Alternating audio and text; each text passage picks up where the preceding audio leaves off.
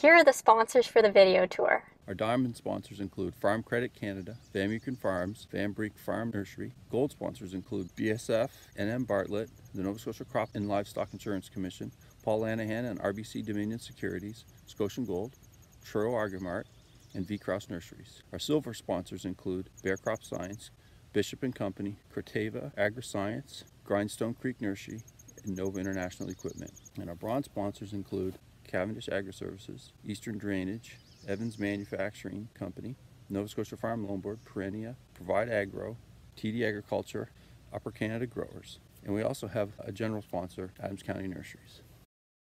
Now we're back here again, and Dr. Suzanne Blatt is going to talk about some uh, research with uh, leaf rollers and apple leaf curling midge.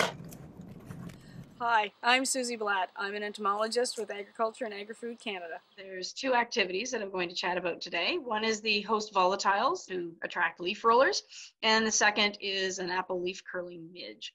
And there's many collaborators involved with this work. The, this is a national project. So we'll start with the host volatiles.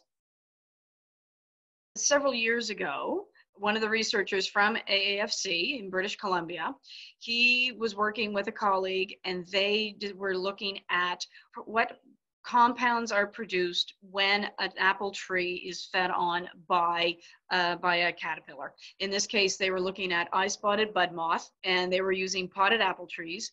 And they found that there were a couple compounds that were specific that, that got produced once the tree was fed upon, and that these were attractive to both males and females of different species of the same leaf roller or tortricid family in British Columbia. So I got involved with this work back in 2016 as part of an AAFC project. And then we took it, and the idea was to see if there's any regional differences, if there's going to be any uptake um, in these other areas. We have two very simple objectives. We wanted to test these two specific compounds on leaf roller populations in the apple producing areas of Canada. And their idea was their potential for mass trap trapping. And then we also wanted to look at acetic acid and the pear ester for additive effects because there had been some work done on these with respect to specific species of, of leaf roller, but not with all of them. So the mass trapping concept, it's a very simple one. You go into an orchard block and you basically heavily populate it with traps that are baited with something that's very attractive to the species, you know, one or multiple of interest. And the allure of these two host volatiles is that they have attraction to both males and females and that they were attractive to multiple species. So this could eliminate in those areas where you've got like a complex of leaf rollers, instead of having to put out multiple lures, you could put out one and then you'd be able to pull it in. So that was the end game if possible. But as, as you can imagine, there are definitely challenges because you do need to attract both males and females for mass trapping. You need to overcome all of the surrounding hosts that are also putting out sometimes these same volatiles because they've got some of the leaf rollers feeding upon them. And then there's the cost. What is it when you commercialize these compounds? What do the traps cost? How often do you have to change them? All of those things factor in to whether or not you're going to be able to use mass trapping as a management technique a sex pheromone, which is commonly used when you're monitoring, is only capturing the male of the species. And really, if that male has managed to mate before they've ended up in the sex pheromone trap, then you've already got your damage potential is already out there because the female still has the ability to go and lay her eggs and the little babies will go and damage your trees. So that's one benefit of something that will attract both males and females is you're taking you're taking out both of them. Um, in our studies, we were working uh, with the company Trécé, uh, which is located out on the western United States. And we're using a Delta 1 trap, or what they, what Trécé calls is their Pherocon 6. And the lures that we were using um, in the center panel, you can see the bubble caps that they're, they're just hung in the trap. And um, underneath that, you put a sticky liner if you were going to be capturing for mass trapping, you'd want not a sticky liner, you would want a trap that can capture a large volume of moths. But for our purposes, just to show proof of concept, we were using the sticky traps. On the top right-hand corner, that's what the trap looks like when it's hanging in the orchard. And it's got two little bubble caps.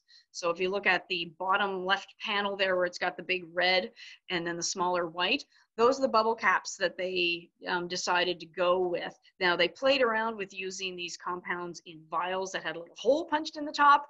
They mm-hmm. played around with them in little rubber septa, which is more commonly used for uh, sex pheromones. But they decided that bubble caps give the best release rates. And so the big, large red one there has a higher release rate. It's got a larger surface area that the compound is coming out. And so it has a higher concentration coming out at any one time compared to the smaller little guy. In the middle on the bottom, I put a little comparative shot there between the oblique banded leaf roller, which is on the right, and the eye spotted bud moth, which is on the, the left.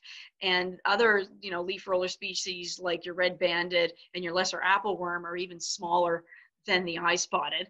And there's just a close up shot there through the microscope of what your eye spotted bud moth looks like. In Nova Scotia, we've got eight different species of this uh, leaf roller family. Not all of them um, affect any type of damage that we can specifically attribute to that species, but the main ones that we do look at and worry about, um, the eye spotted bud moth, codling moth, oblique banded leaf roller, oriental fruit moth, off and on.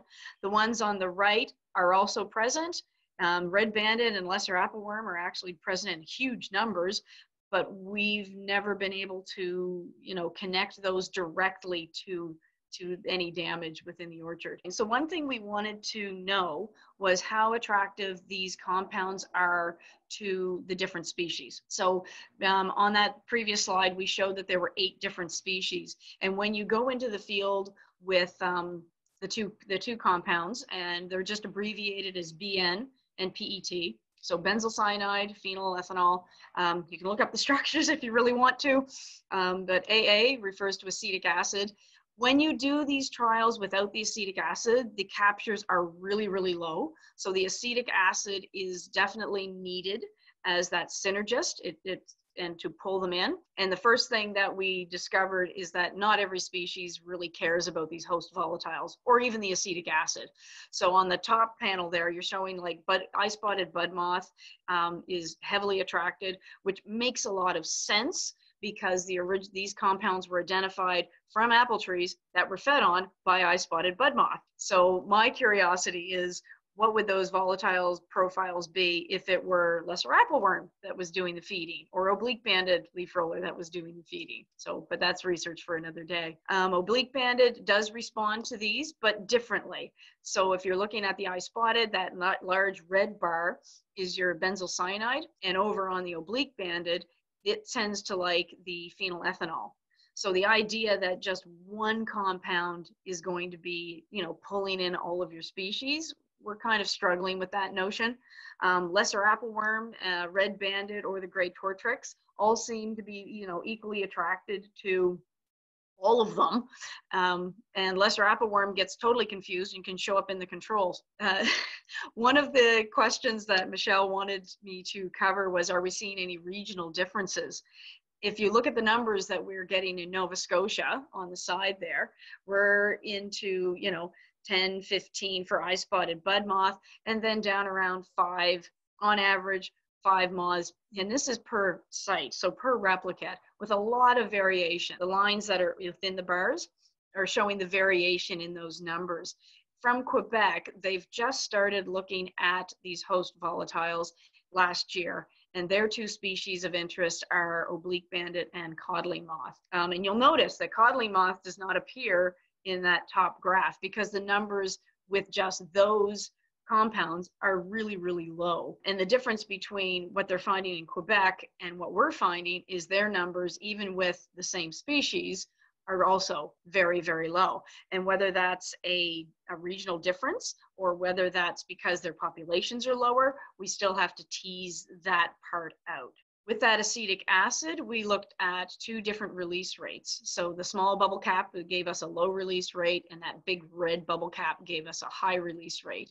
And what we looked at here with red banded didn't really seem to be a big difference. but your eye spotted really likes the higher level of the acetic acid.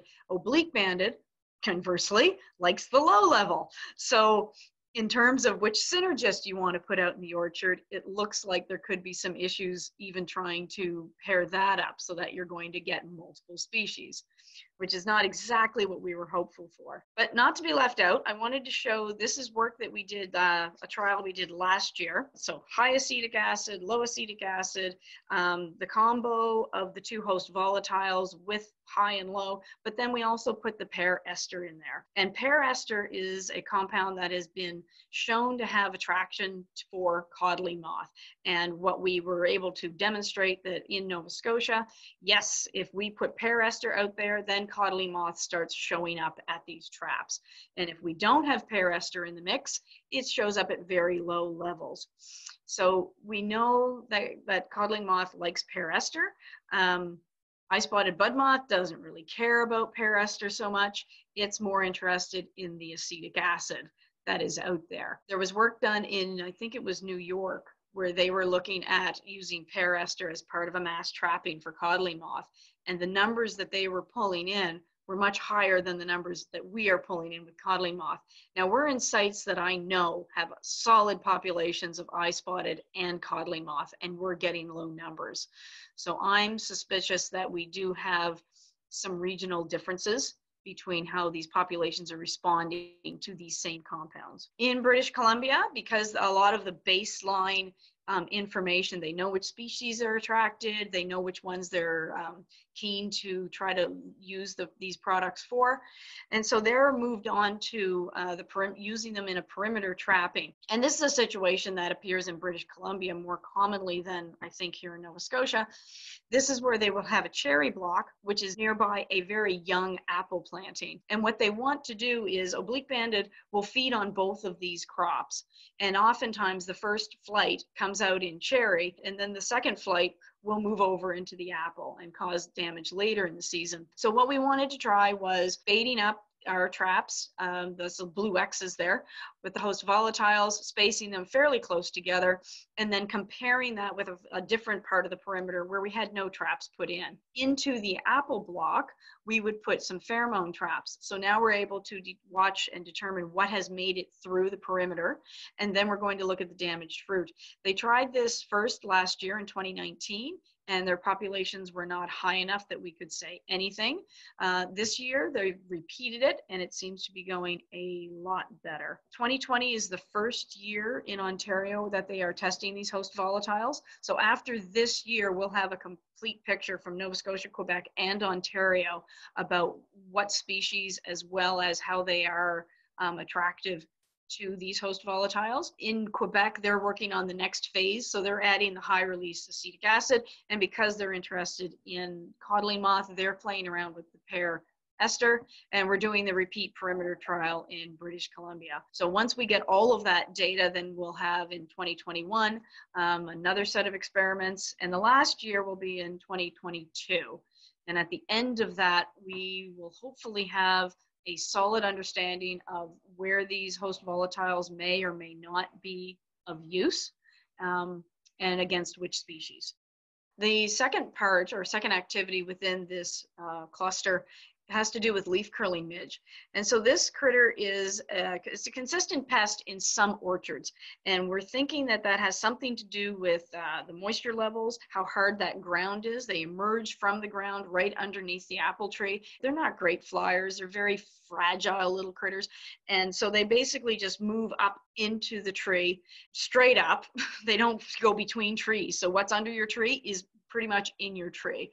And so it has to do with the ground cover that's there and the availability of new growth.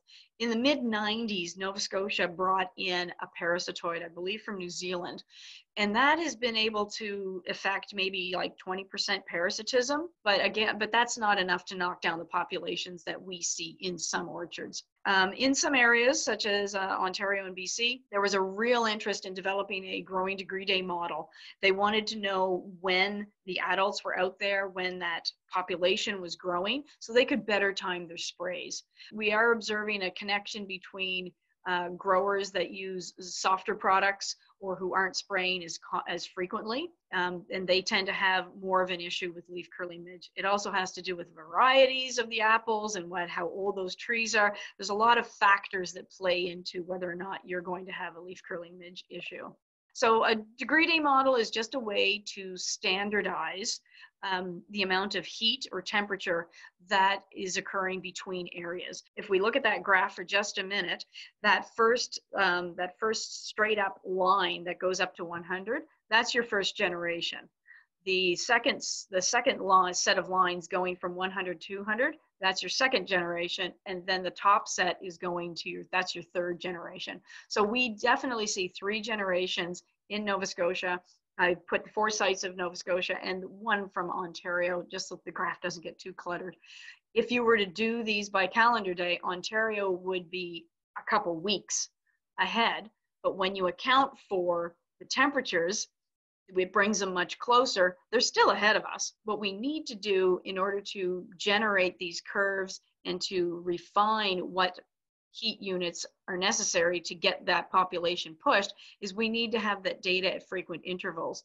So we'll be checking the traps uh, two to three times a week, and we need multiple sites over multiple years to generate these curves with any consistency because you need that variation. Some years are, are quick to heat up, some years are dragged out. So the, the ability to have all of those contingencies wrapped up into your model makes that model more robust and more effective for the grower to use. We've discovered that a model for each region is needed.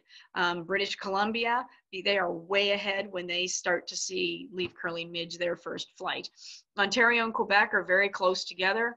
Um, we, Nova Scotia, we're also unique in when we come out and we're slower to get started, but then we kind of mesh with the second and third generations are similar to Ontario and Quebec, but our first generation is a little bit later. And it is important to know that because that first generation is the one that kicks off what happens down the road in your growing season with your second and third. So if you can get that first generation under control, you've got a hope of having much less impact second and third. Uh, this is the final year of data for that project. Uh, the preliminary models have been developed and we anticipate having models rolled out to each region and ready for you know verification and validation and to actually be used by some growers just and to get that feedback on how they are working by 2021.